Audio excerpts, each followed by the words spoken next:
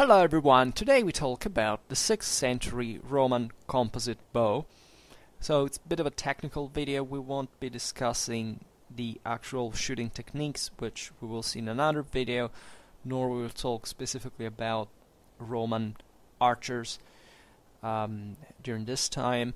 That's topic for another video as well, but concentrating a bit on the, um, let's, let's say, on the mechanics and on the composition naturally uh, as well. We don't have an overwhelming amount of evidence, but fundamentally, you know what we're talking about here. Two simple distinctions. The, the, the, the typical European bow was built since prehistory in the same identical way forever, right?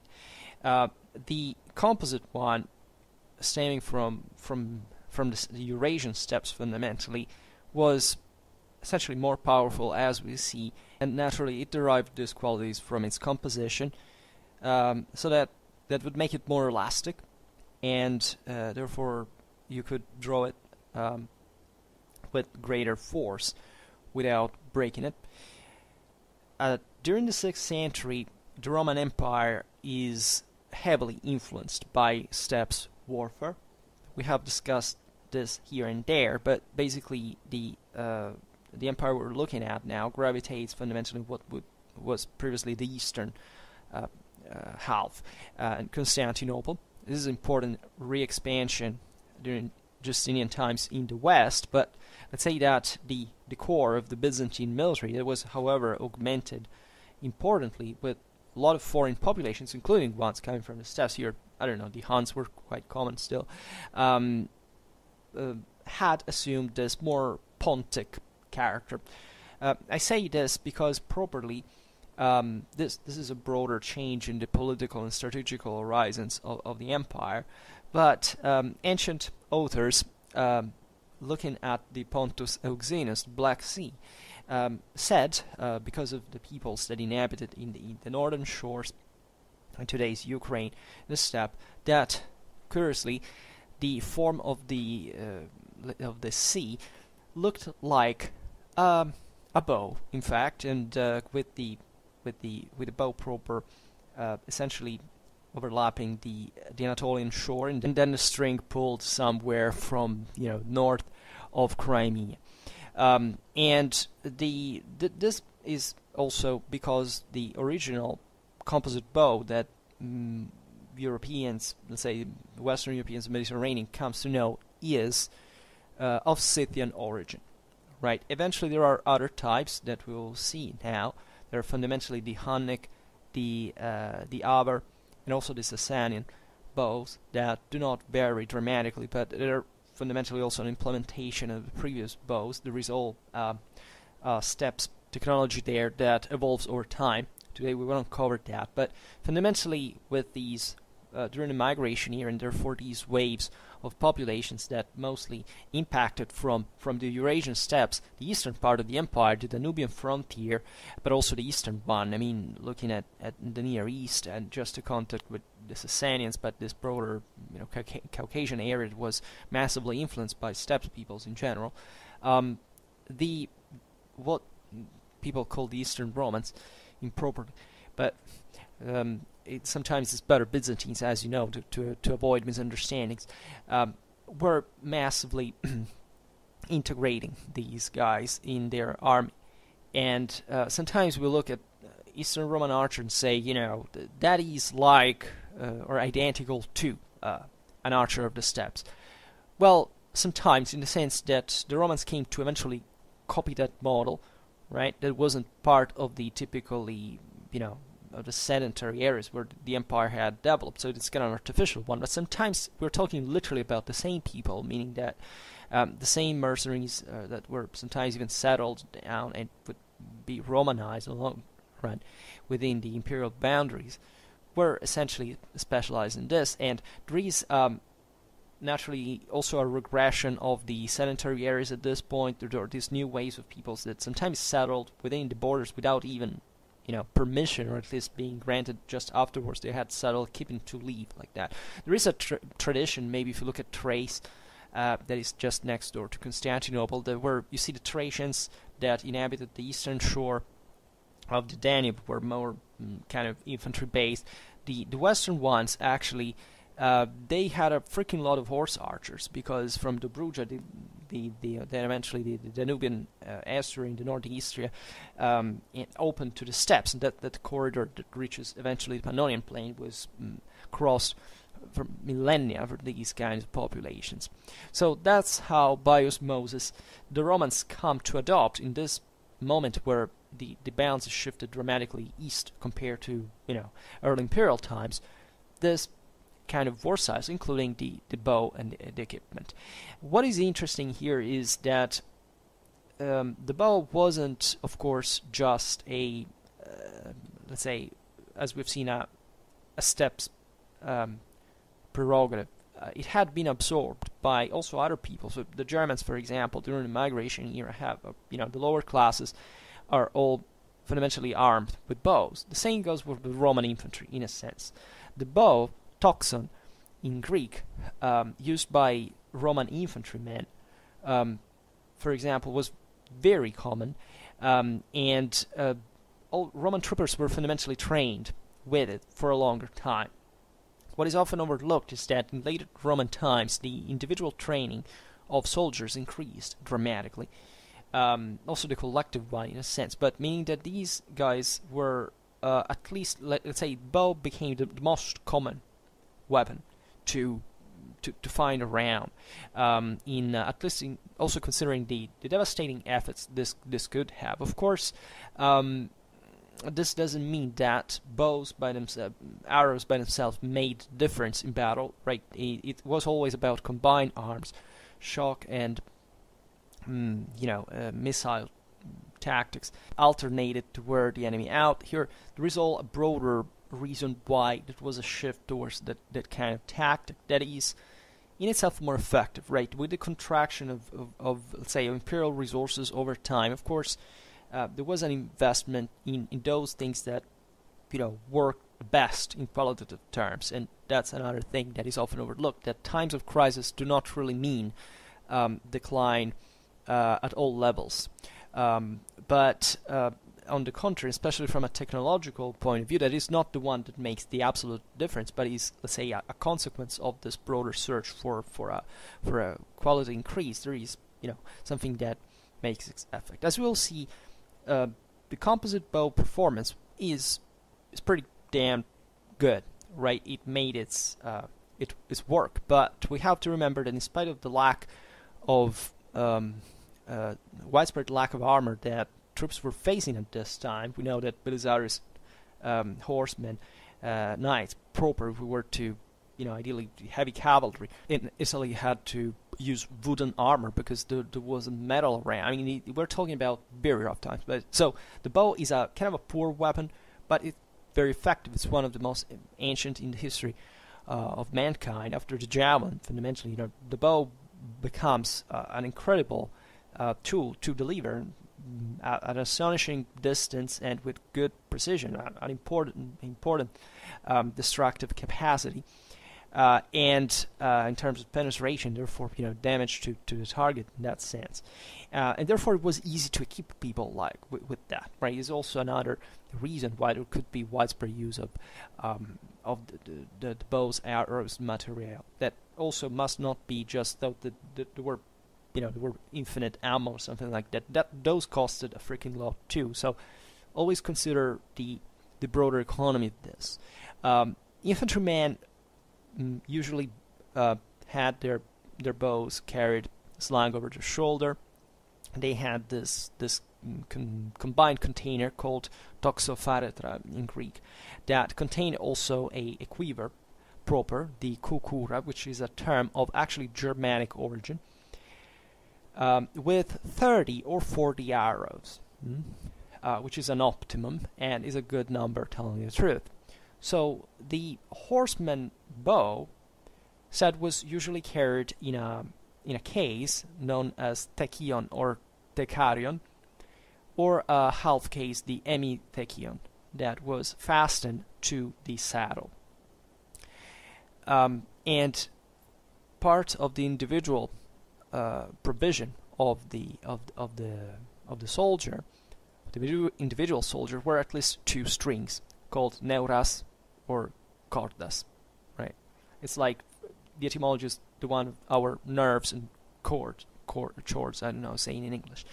Um, and of course, uh, these were the uh, spare strings with the, the, the one that the bow had broke, so it makes three at the end of the day, and also a little file to sharpen the arrows. Uh, consider these troops tended um, with the broader decline of the saddle machine, uh, or at least the passage into private hands of certain forms of supplies. Think about the bucellarii, etc. They were, you know, also largely horse archers. In um, by, by you know the same soldiers that, of course, created their own um, their own armor sometimes.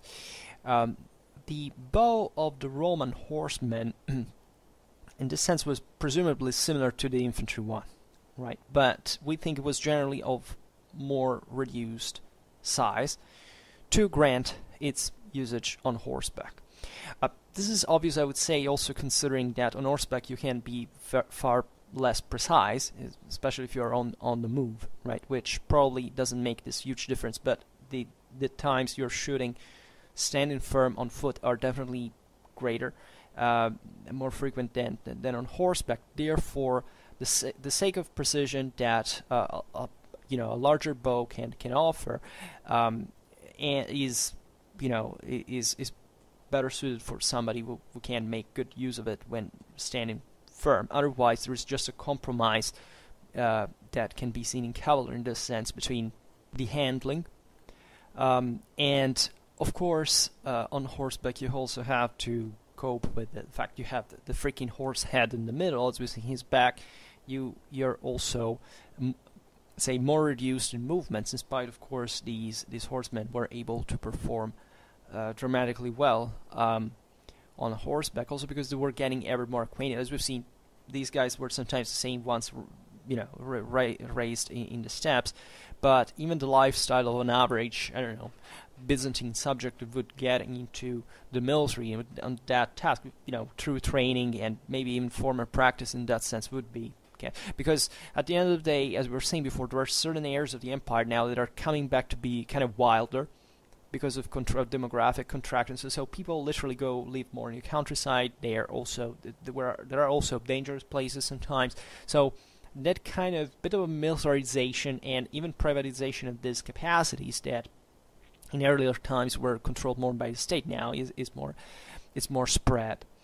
Um, but by the 6th century you would see let's say uh, a typical Byzantine horseman as mount right? And what it's important to stress in here is that more or less we often overlook this but we we maybe didn't come to, to talk about that uh, from a while uh, about.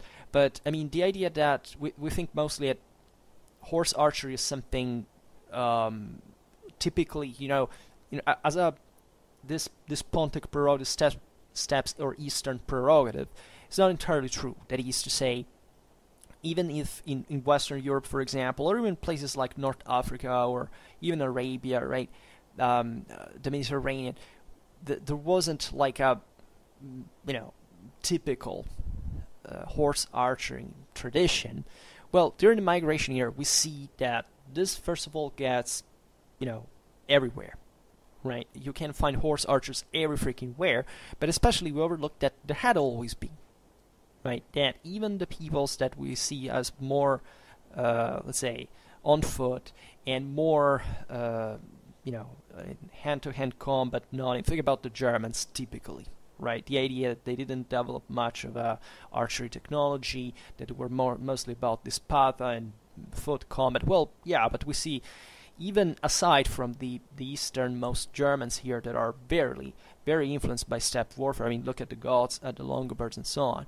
Um, even if you go, I don't know, in Francia, among the Merovingians, I mean, on average Frankish comes would be a very skilled horse archer, if anything, because these guys lived as noblemen of hunting on their own. So every every knight, even in medieval times, would perfectly be skilled to, to be a horse archer. The fact that they fought differently on the field, it's because they found better better solutions given the, their political and social background, but that doesn't tell much in terms of individual skills whether they could use that or not. So you have to pick actually a you know a standard Arimanus, I don't know, or even if you go uh, in, in the in the far north in Scandinavia, right, where we see even, but even in the Jutland Peninsula, where we see you know that that there was kind of the less developed kind of of, of, of military compared to the continental standards. Well, we see there that still the, the hero, right, of the early sagas, that he's a guy on horseback that handles every kind of bow, fundamentally, including longbows, um, and that is able to switch from mounted to foot combat. I mean, it, it, it was like that, right? In terms of individual training, knowing how to use a bow was, was very, very common in, in the in the sixth century military, right? So at least, uh, and this naturally overlapped with civilian life as well. So as a consequence, the Romans were facing peoples that one or another knew how to, to use these things.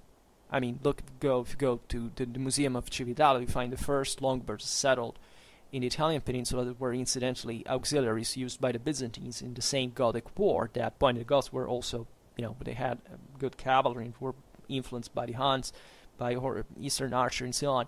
Um, there there are the entire there, there are the bodies of entire of, of, of the warriors and of of the horses and their gear. So those are freaking horse archers, right?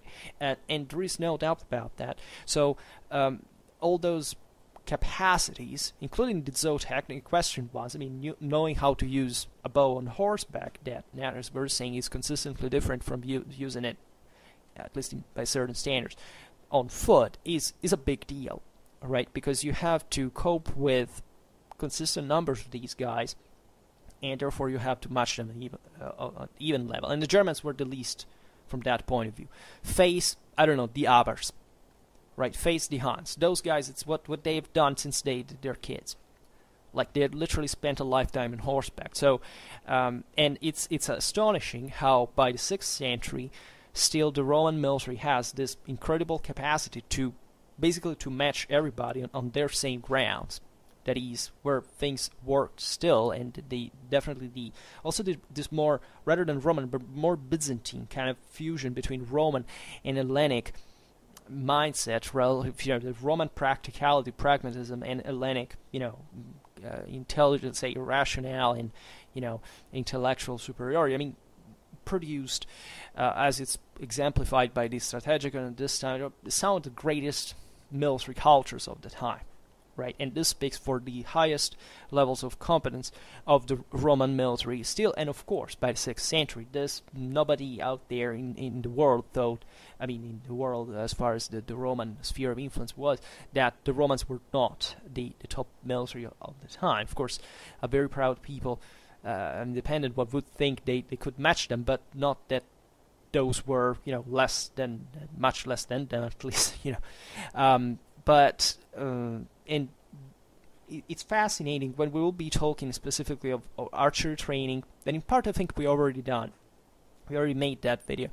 We'll see we we seen there how in fact how um, thoroughly the Byzantine mm, sources usually also manuals that were directed at that therefore where where in terms of archery training I mean, they, they literally made incredible tests that, fascinatingly enough, reveal the, the same exact data with an astonishing amount of precision of the modern tests, which is actually a pat on each other's shoulders at 1500 years of difference to see that the way we test that thing and the way they tested them now, right, was uh, is alike, right? At least from you know people that are not relatively competent, but we also have examples of guys at the time, of course, they knew how to use the bow in ways that a modern person, extrapolated from the, from from that concept, could never do. Right? It's like when they made weapons. Right? They metallurgy for our standards back in the day sucked, but out of ten swords they made, that nine were so-so. One was was achieved with uh, a certain ergonomy and functionality that today, not even today with our dramatically more advanced technological means we are ever able to replicate in order for using that thing to, to actually fight with it. So a lot of respect for the astonishing empirical capacities of this guy to to achieve uh, great technological fits for, for those time standards. Um, so talking about the the stats of briefly of, of these bow, fundamentally an arrow shot by an average composite bow went something like 51 meters per second.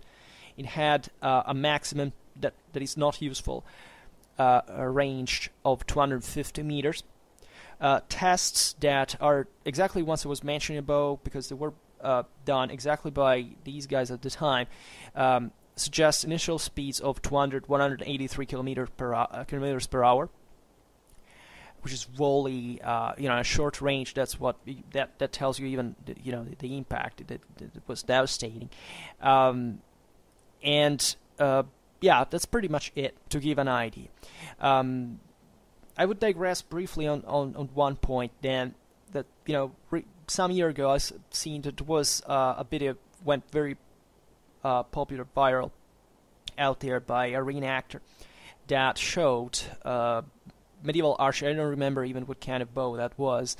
Um, I don't think it had anything to do with it wasn't a composite one, but that fundamentally showed this incredible feats of you know shooting an astonishing amount of arrows in a uh, you know equally astonishing in proportional terms amount of time uh, even with a certain degree of accuracy in a short range, right? And we know exactly from from sixth century, so from these sources of that time right around, that there were people who were capable of doing that. Was one guy basically um, drew the, the shape of of a uh, of a boy that stood behind a shield by essentially shooting at the, the margins of, of the guy's um, silhouette, let's say, and reproducing a drawing on the guy. Uh, that's it's surely possible. It can be done if you train just for that. Um, and considering the risk involved, that's surely an impressive individual individual feat. But what uh, that means is absolutely not that, that that's a military useful thing, right? Militarily speaking, what what really matters is the order of the uh, the alternation of the salvos, let's say, of the shots altogether collectively right? That is not aimed at precision, right? Of course, if you are in a skirmish in an ambush, uh, you are, you know, a small pocket, you know, a handful of guys shooting against each other. Yes, you have to be very precise. At that point, those skills are going to be um, useful in a sense. But in more regular battles, what what really matters is how uh, consistently you deliver uh, the, the, the, the bow shots all at once and repeating that right uh, or a certain amount of time in coordination with other units that are going to exploit the disorder that that concentration of, of arrows can produce right? So don't think that a guy who's able to perform those feats uh, is something much different from just what they would do in the circus at the time right? Because what happened on the field is something completely different in terms of what you can actually accomplish right? And it's difficult enough to make people realize the difference between individual and collective uh, training. Well, that's exactly the point, right? Uh, you can't be uh, an astonishingly trained archer, but having basically no use in an actual field if uh, considering the, the, the, the minimality of your presence among thousands of men that are making a difference by cooperating collectively. And you know, where are you going to be there when there are ten thousand arrows flying, uh, you know, uh, on, on, a battlefield in in in, uh, in 20 minutes. Like it, it's it's difficult to say, right? Um, and um, this this is extremely, but it's possibly the most important thing to bear in mind when thinking of of archery uh, in those times. So starting from the fifth century, uh, the classical Scythian type bow that was employed by the Romans at that point had been cited uh, up to being completely substituted by the more powerful and handling Hunnic bow. The the Scythian type was uh, the Sigma type. It was a symmetric bow, and you know what the point of these these bows is that basically they they when you you stretch them, they went backwards um, compared to the uh, the sense where they they curved uh, to when they, bent to when they were released, right? So that tells you how you know much they were they were drawn. Um, the the Hunnic type was asymmetric, though, uh, which means that the at least in, in, in this case the inferior limb was shorter than the uh, superior one. Why? The archer on horseback could handle more easily the bow without interfering with the back of the horse, right? And even by making rapid uh, switches in the direction of the shot. So obviously, this is the point. You're you're not um, you, you don't want to have a lot of bending part of the bow um, at a height that is the one you anatomically use when you shoot the bow that is still superseded in part by the neck, the head, the back of the horse, right? So uh, this asymmetry was thought to uh, compensate uh, the uh, let's say the, the, lack of the, the let's say of, of room of, of maneuvering of flexion that you could could not achieve with the inferior part, right? So um, the as a consequence also the lower limb was proportionally built with a more rigid material, material, right? And we'll see in a while now the composition of the bow in, in, a, in a section proper. Um, so you had this less elastic part in, in the uh, in, in inferior limb, and then a longer and more flexible superior limb that could allow you to, to, to grow. Of course, this caused an inclination of the um, of, of the you know of the bow axis in the one of, of, of the body of the chest when you were pulling it because the asymmetry produced an angle uh, right rising right of from the uh, from from the direction which you have to draw uh, with with the arm. So the in the Hunnic bow so the Hunnic bow offered however also a decidedly superior power compared to the Scythian one. In fact it was capable of shooting very long arrows, uh, up to 80 centimeters. The average was 70. All these bows, more or less, and um, and arrows that could be also provided with much more, much heavier heads. Uh, consequently, as a consistent increase also of the of the of the range and the penetration capacity. Then there was the Avar bow, was introduced in the 6th century on the Danubian frontier for, I mean, self-evident reasons, and it was instead symmetrical, right? And it differed slightly, however, in profile and outline from the Hunnic bow, uh, in spite maintaining its power in invariant, right? Then there was also the Sasanian bow that was fundamentally similar uh, it was traditionally employed by the Persian enemies of Rome. And we're talking, however, of a broader family, right? That we can see, of course, coming from the steppe. Uh, if you wonder why the, the change happened in the past, it was a kind of an environmentalistic hypothesis. Now it's being debunked. I mean, the idea that in the steppes there are less forests at a certain point. Uh, in the West, instead, in Europe, was more forest. So the, you know, the the the composite character of the uh, of the bow would be caused by this putting different other materials together in the steppe. Uh, while in Europe you would just cut the wood and make it that simple. It has nothing to do with that, right? It has to do with the development of mounted warfare, right? The need of using that art, uh, that that uh, that bow on on horseback.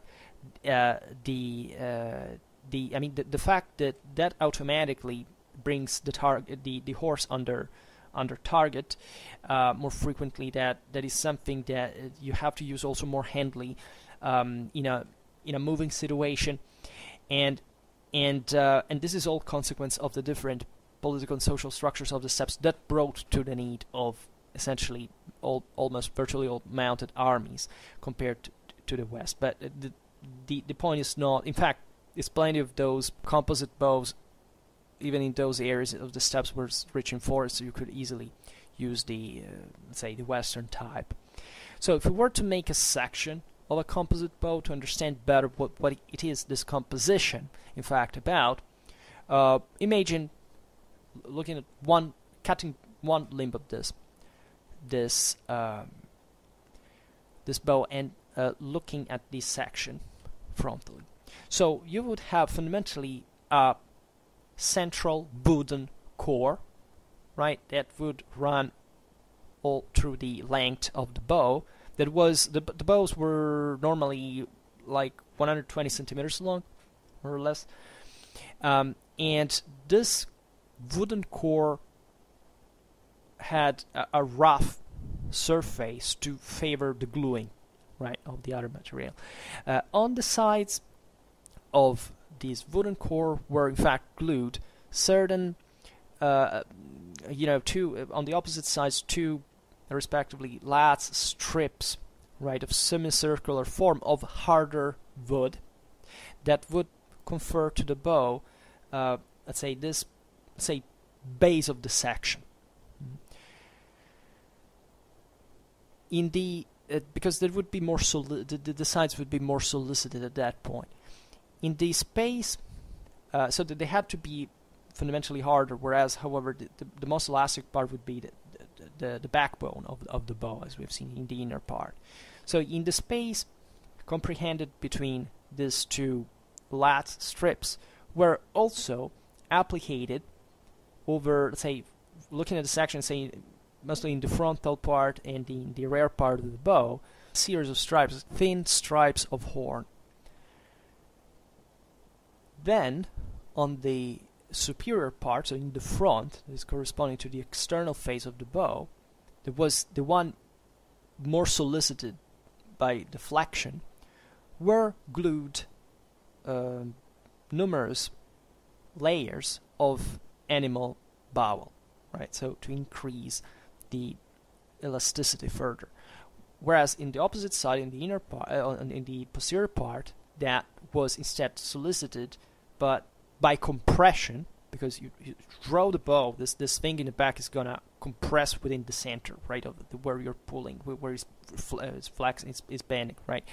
Instead, in in the front, you have something that is stretching out, right. So it needs to be more flexible. The back has to be hard, right. And in fact, in the back, were applied uh, thicker horn layers, and the whole thing was bandaged by an external cloth or tender and thin wood structure applied by partially superimposed segments. So this is the, you know, the the magic, if you want, behind this. You can imagine the craft be behind this, and uh, I believe there is still you know good um, series of bows realized like this um, around the world, just traditionally, not just by you know rep replicas from uh, from ancient manuals and so on. We don't have also dramatic archaeological evidence of this stuff, like the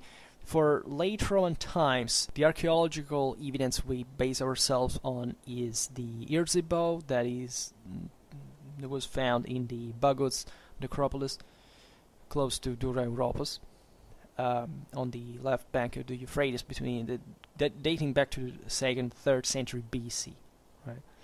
Uh, the other has been recovered in uh, Shavkar in Hungary uh, in 1983 um, Another one is from is China basically. this is a bow from the third century, uh, typical of the Xiongnu, right? Um, and it's uh, considered also the progenitor of the Hunnic bow, in fact. Uh, another one is has been dug in um, in Caerleon, in Britain. It's a Roman, um, late Roman uh, site, archaeological site. Uh, so Speaking of arrows, as we said before, reached a length between 70 and 80 centimeters.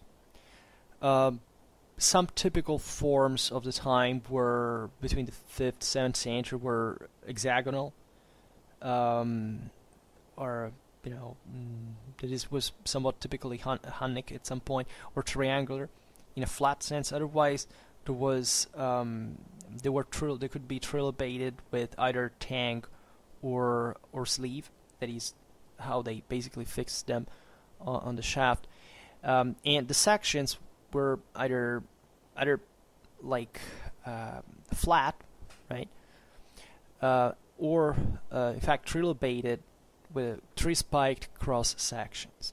Uh, there are interesting other arrowheads uh, with uh, holes practiced symmetrically on the wings um, of the of this hip that uh, probably were designed to produce that uh, characteristic uh, hissing, let's say, uh, whistling during the, the, the shot that was psychologically terrifying, considering what we said before that it's about the collective employment of archery made the difference. Arch- archery by itself doesn't solve uh, tactical situations. There are not armies out there that win battles just with missiles. Right? Missiles are usually the weak kind of uh, of weapon. It doesn't matter how uh, performing these technologies are. By themselves, you, you don't wipe out an enemy from the battlefield. Right? You can soften him up considerably, but you have to smash through him. But still, this in order to do that, it's not just a physical thing; it's predominantly a psychological effect. So imagine uh, standing nervously and loaded in, in adrenaline it is making you you know your heart exploding because of the, the, the heartbeat being bombarded with these with this hail of arrows that not just do not make you rest at any moment during the day or the night and you have always to stay prepared for something arriving against you uh, but they also start whistling and and you see and you hear this and imagine the noise of thousands of arrows pouring like that continuously, right? It, it's psychologically unnerving, devastating, and believe me, they did make a hell of a of a of an effect on the concrete damage to the enemy. There are interesting arrowheads from the other necropolis of Mecca, Budapest, dating to the 7th century, that provide interesting uh, evidence of the link of the uh, arrowheads with the haft. Um, here it's all it's all uh, always either the tang or the sleeve. So the tang you actually fix the you know they have the spike at the bottom of the arrow that you fix in inside the section of the haft of the uh, of the haft, and then you basically tie it. Um, or glue with I don't know precisely how to the when you fix the, the arrow firmly into the, uh, the arrowhead into the haft Otherwise, it's a sleeve that is instead you you you insert the haft inside this sleeve that enters. Uh, I mean that that um, departs from from from the base of, of the arrow, and then generally speaking, as far as I understand, the, the difference is also the aforementioned one between the in cross section right? Because the, the sleeve is like a little cone, right? Um, and and therefore it doesn't immediately. I mean, it has to have a, a larger base of of, of the uh, a larger section of the arrow to to fit in the structure, right? Broadly speaking, how they were cast, um, and therefore that pr produces the trilobated section that was also probably improved for, for that reason to be more effective, especially against um, against armor. I mean, such cross sections are mostly designed triangular, eventually squared, thinking about the Middle Ages, to punch through the metal st uh, structure that flexes more uh, like that. Um, so, speaking of the quivers as well, we, we, we don't I, I don't think there is mu much evidence from from this specific times surviving, but the toxopharetra, as it was called, of uh, 6th century Roman army didn't have to be particularly different from the Scythian Gorytos of classical age, right? And in war zone, consider that the bow had to be carried ready for use, that is, already loaded, as was said in Greek, tetamenon, right?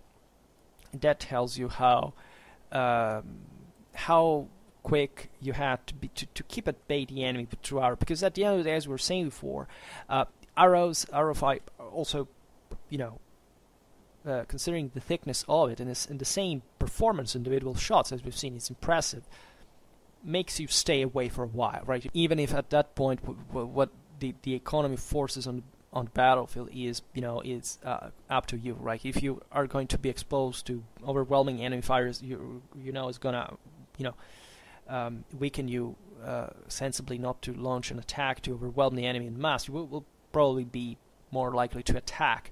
Um, the enemy is at that point probably having you know those light archers running away, uh, making hit and run tactics to, to, to, to tire you down at that level and not making you charge into anything and making you ever more tired. So um, otherwise, if you charge, uh, I mean this depends. You you may not want to tire your heavy cavalry. At that point, you will maybe send the expandables in to be literally said wiped out by by archer to make the enemies exhaust its own missile. I mean, you know, it, it all depends on the situation. There is no standard uh, way you you may want to do this. Uh, can be even the opposite. And all right, so this was pretty much it. Uh, we, as I said at the beginning, we will be talking about, uh, mm, especially, yeah, I mean Byzantine archery because it, it really has this fascinating kind of makes hybrid uh, synthesis uh, of military culture that uh, hardly uh, any other people quite quite had so so closely, so so effective. So um, if you want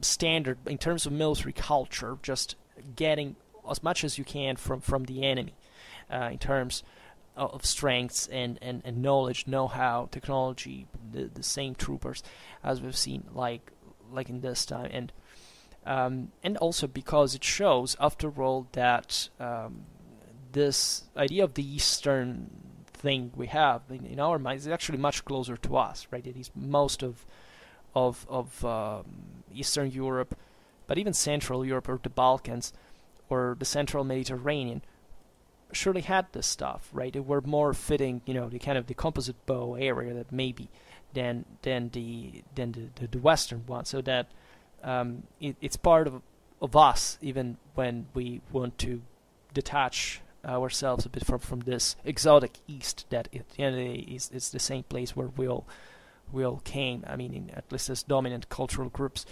Um, anyhow, uh, for now, we stop it here. Just hope that you enjoyed it. If you did, please share it. Otherwise, leave a like or subscribe to my channel if you're interested in my upcoming content. And for now, I thank you heartily for listening to me. I wish you a nice time and see you next time. Bye.